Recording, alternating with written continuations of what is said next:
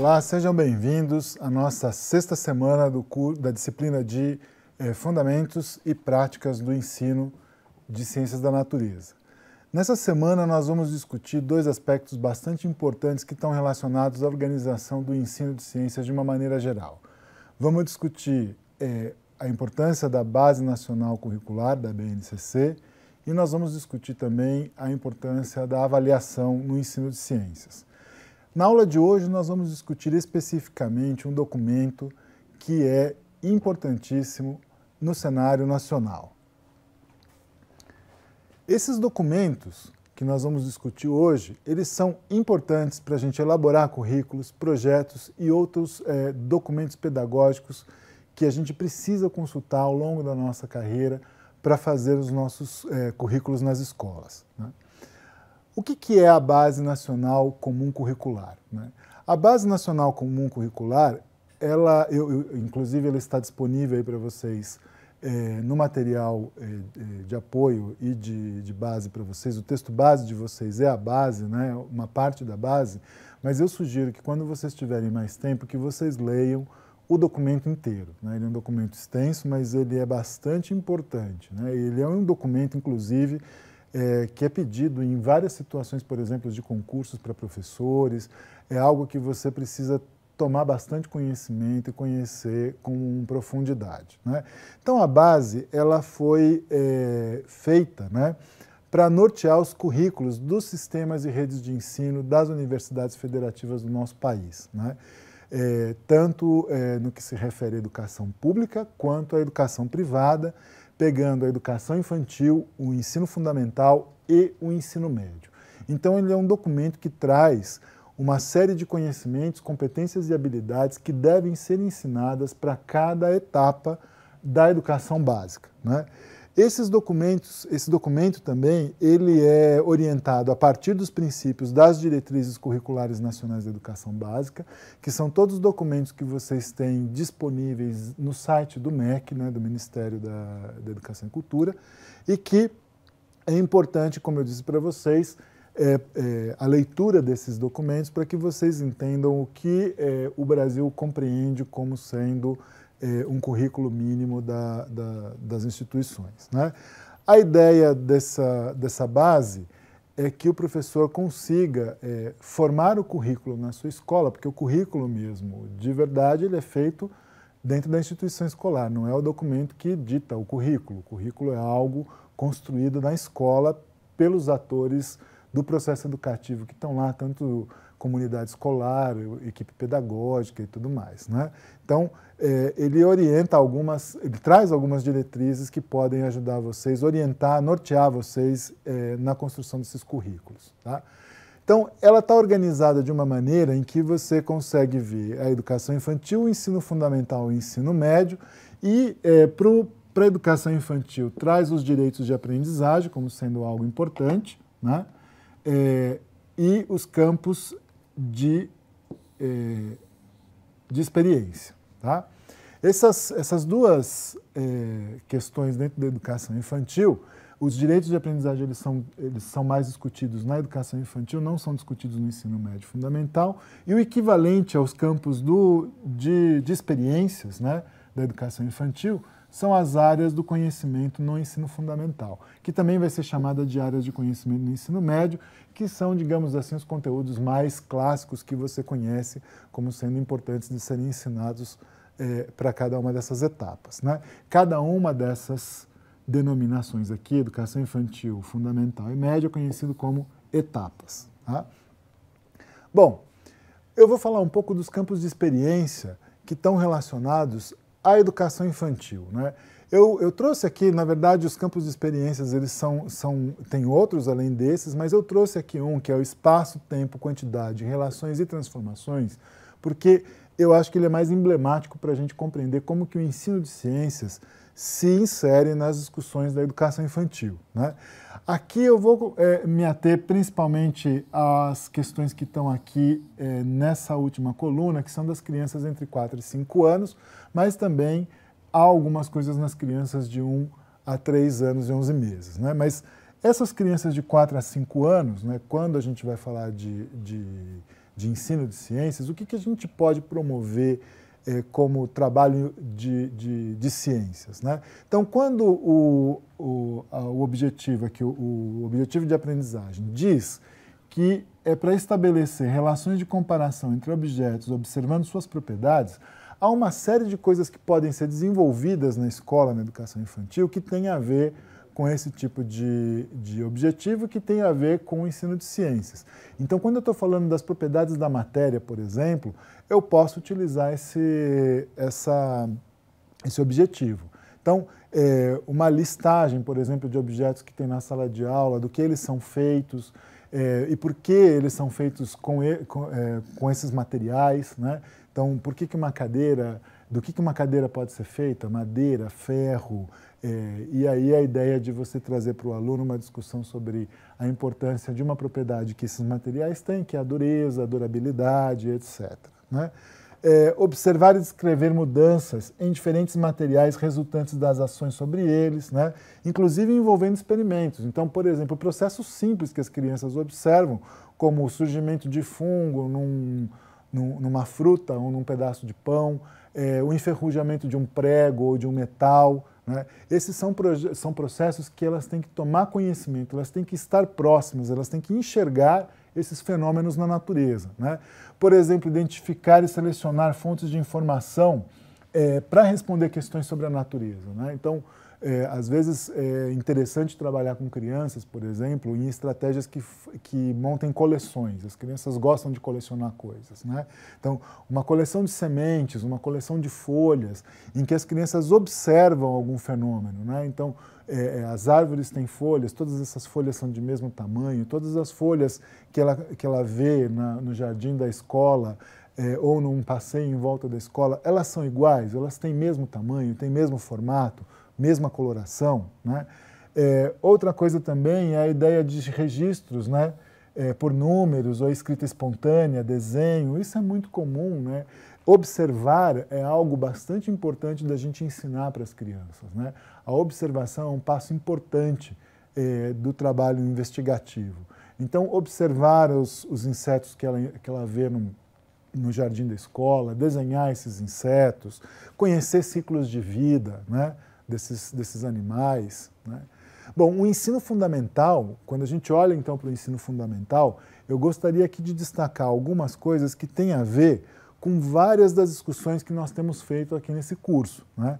Então, eu sempre tenho defendido a ideia de que o ensino por investigação é algo importante, é uma abordagem didática importante, e vocês vão ver que no, na BNCC é, o ensino por investigação pode ter o seu lugar.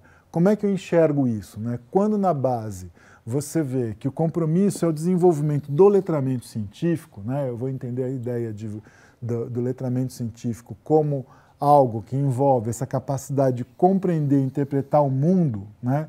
natural, social e tecnológico, mas também transformar a partir de conhecimento científico, eu vou entender que isso dialoga com algumas discussões que eu fiz com vocês sobre alfabetização científica. Né?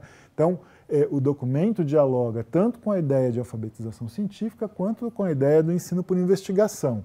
E, é, mais do que isso, né, ele diz para nós que é, o letramento vai trazer esse desenvolvimento da capacidade de atuação no e sobre o mundo, importante ao exercício pleno da cidadania. Então, o diálogo que eu sempre fiz aqui com vocês, da importância, por exemplo, de se argumentar como sendo algo importante para a construção de um cidadão crítico, ele está contemplado, por exemplo, nessa discussão, nesse, nesses fundamentos aqui, que o, nesses princípios que o ensino fundamental traz na BNCC. Né?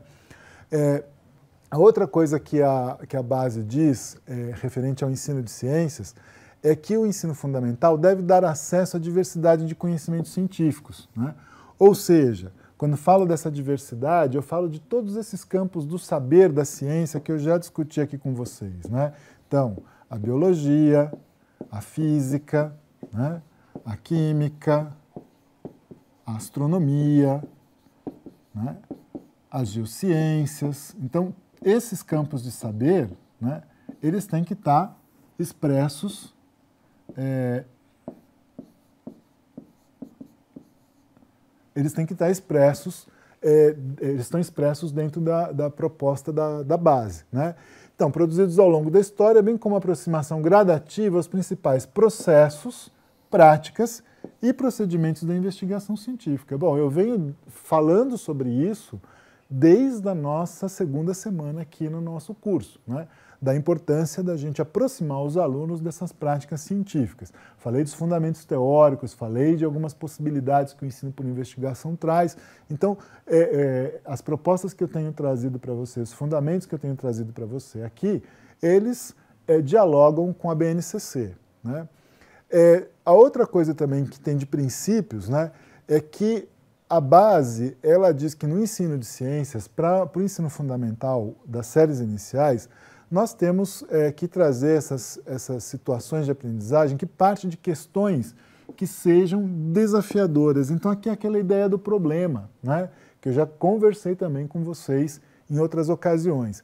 Reconhecendo a diversidade cultural, que também é outro aspecto que eu já tratei aqui com vocês, da importância da gente dar voz a várias manifestações culturais quando a gente fala da produção é, científica. Né? E aí ele também traz que é, esse, essa, um dos princípios aí que a gente tem de estimular o interesse e a curiosidade científica deve possibilitar é, algumas coisas que eu também venho falando aqui para vocês como sendo importantes e que estão na base como pressupostos fundamentais, né, que é definir problemas, levantar, analisar e representar resultados e comunicar conclusões e propor intervenções. Essas questões eu tenho trazido para vocês em quase todas as aulas, é, é, em quase todas as semanas desse curso. Tá?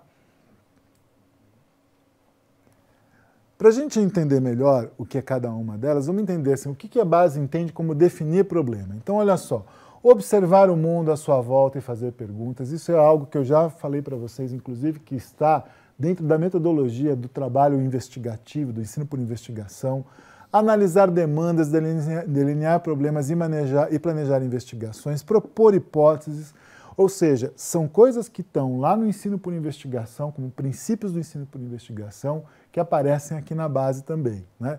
Levantar, analisar e representar resultados. O que isso quer dizer? Né? O que a base quer dizer quando propõe isso para o ensino de ciências?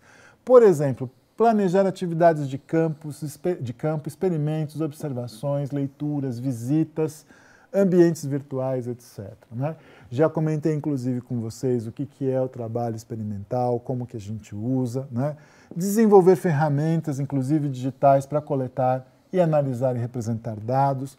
Já mostrei para vocês aqui também estratégias de trabalho que foram feitas com crianças, em que elas criam dados, produzem gráficos, eh, interpretam eles, né? avaliar informação, elaborar explicações e modelos. Isso aí é fundamental quando a gente está nessa perspectiva do ensino por investigação, associar explicações ou modelos à evolução histórica do, seus conhecimento, do conhecimento científico. Já disse que isso era fundamental para a gente tirar uma visão ingênua de ciência, então também está contemplado nas, nos princípios, nos fundamentos que eu tenho trazido para vocês. Selecionar e construir argumentos né, com base em evidências, modelos e conhecimentos científicos. Então, a importância da argumentação na sala de aula, no ensino de ciências, aprimorar os saberes, incorporar gradualmente, né, de modo significativo, o conhecimento científico.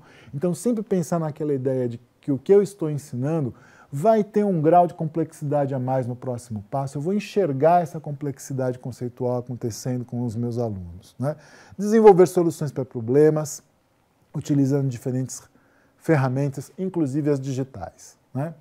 O que, que entende, a base entende como comunicar conclusões. Então, organizar extrapolar conclusões, relatar informação oral escrita, isso eu já tratei, inclusive, numa aula específica para vocês, o potencial que a aula de ciências tem para desenvolver escrita, oralidade e leitura, né? Apresentar de forma sistemática dados, resultados de investigação. Então, aquela possibilidade que você oferece para o seu aluno quando você planeja a aula, de que ele fale, que ele explique aquilo que ele sabe. Participar de discussões de caráter científico com colegas, professores, familiares e comunidades, para a gente reforçar essa ideia de que a construção científica é coletiva. É, considerar contra-argumentos para rever processos investigativos e conclusões. De novo, a importância da argumentação nas aulas de ciências. Né? E é, propor intervenções. O que, que a base entende como propor intervenções? Então, implementar soluções e avaliar eficácia para resolver problema cotidiano. Esses problemas podem ser problemas simples, né? Então, coisas que eu quero saber, assim, é, é, como é que eu faço para uma planta poder é, se desenvolver melhor? Como é que é o ciclo de vida de um animal? É, como é que funciona, por exemplo, a iluminação na minha casa? Como que a luz ela é produzida, né? É, e desenvolver ações e intervenções para melhorar a qualidade de vida individual, coletiva e socioambiental. Ou seja, o ensino de ciências a favor das discussões socioambientais. Né? O cidadão ele tem que saber utilizar a ciência para compreender os problemas ambientais que existem no planeta e formas de tentar resolvê-los. Né? Bom, o ensino fundamental ele está dividido em unidades temáticas. Você sempre vai ver no, no, no, documento unidades temáticas, objetos de conhecimentos e habilidades. O que, que são as unidades temáticas? Né? São grandes eixos né, de trabalho, são grandes eixos organizadores. Aqui, por exemplo, você vê matéria e energia.